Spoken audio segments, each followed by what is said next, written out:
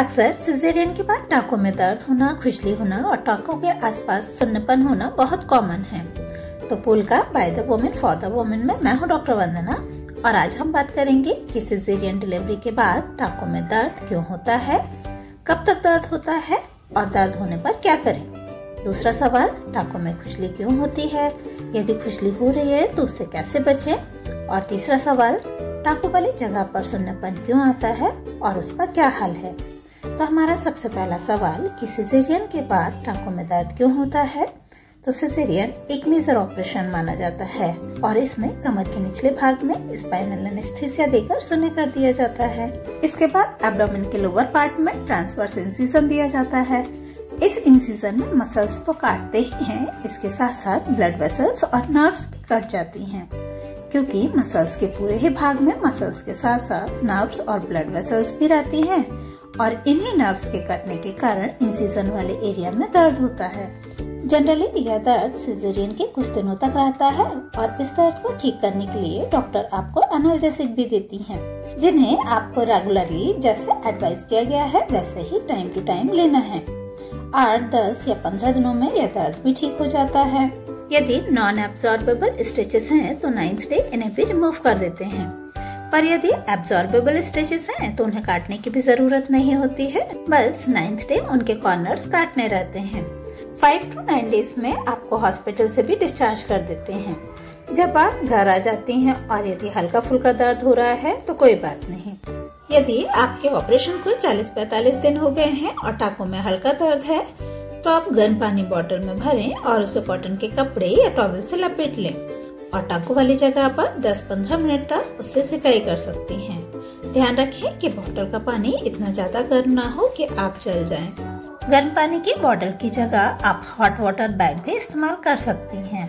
अब यदि आपको दर्द के साथ साथ जलन भी है और आपको ऐसा महसूस हो रहा है कि जैसे आपकी स्किन जल रही है और दर्द हो रहा है तो एक पॉलिथीन में बर्फ़ भरें और उसे कपड़े से लपेट लें और इसके बाद टांकों वाली जगह पर उसे फेरें दर्द ठीक हो जाएगा। पर यदि सीवियर पेन है तो तुरंत अपने गायनोकोलॉजिस्ट को कंसल्ट करें। अब हमारा दूसरा सवाल, कि टांकों में खुजली क्यों होती है, और यदि खुजली हो रही है तो उससे कैसे बचें? जब टांकों में हीलिंग हो रही होती है तो वहाँ पर ड्राइनेस रहती है, और इसी ड्राइनेस के कारण खुजली होती है।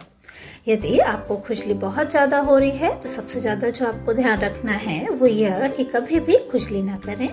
खुजली करने से टांकों में नाखून लग सकते हैं, जिससे कि टांकों में इन्फेक्शन हो सकता है इसलिए जब भी ईचिंग हो, एक साफ़ सॉफ्ट मलमल का कपड़ा लें और उसे टांकों वाली जगह पर हल्के हाथों से फेर लें इसके अलावा आप कोई भी सॉफ्ट क्रीम या पेट्रोलियम जेली या फिर कोकोनट ऑयल अपनी उंगलियों में लगाएँ और जहाँ आपको खुजली हो रही है, वहाँ पर हल्के हल्के हाथों से सर्कुलर मोशन में लगाएँ। क्रीम, लोशन या कोकोनट ऑयल से स्टिच लाइन में नमी बनी रहेगी, जिसके कारण ईचिंग में कमी आएगी अब हमारा तीसरा सवाल, कि टाकों वाली जगह पर सुन्नपन क्यों आता है और इसका क्या हल है तो जैसा कि मैंने पहले बताया कि सिजेरियन एक मेजर ऑपरेशन होता है और इसमें मसल्स के साथ साथ नर्व्स भी कटती हैं। इन नर्व्स के कट जाने के कारण वहाँ पर सेंसेशन नहीं हो पाता है, क्योंकि नर्व्स का काम होता है हमारे सेंसेशन को हमारे ब्रेन तक लेकर जाना और हमें एहसास दिलाना कि कोई चीज़ टच हो रही है। और ऑपरेशन के समय जब ये नर्व्स कट जाती हैं तो ये नर्व्स हमारे ब्रेन तक सेंसेशन नहीं ले जा पाती हैं कि कोई चीज़ टच हो रही है, और जिसके कारण हमें नमनेस फील होती रहती है।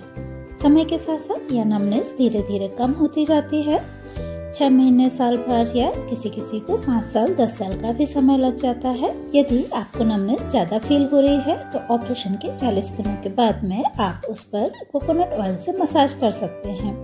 मसाज करने में आपको ध्यान रखना है कि मसाज बहुत हल्के हाथों से करें। अपने उंगलियों की टिप पर कोकोनट ऑयल लगा लें और सर्कुलर मोशन में धीरे धीरे इस तरह से मसाज करते जाएँ। मसाज करते समय बस एक बात का ध्यान रखना है कि मसाज आपको सर्कुलर मोशन में करना है और मसाज करते समय बिल्कुल भी प्रेशर नहीं देना है, बिल्कुल हल्के हाथों से आपको मसाज करनी है तो आज हमने देखा कि सिजेरियन के टांकों में दर्द, खुजली या नमनेस क्यों होती है और उसके बचाव के लिए हम क्या कर सकते हैं। पर कई बार महिलाएँ ऑपरेशन के कई सालों के बाद भी टांकों में दर्द की कंप्लेन करती हैं स्पेशली बरसात के मौसम में जब बादल होते हैं। तो इसके लिए परेशान ना हो, यह भी नॉर्मल ही है।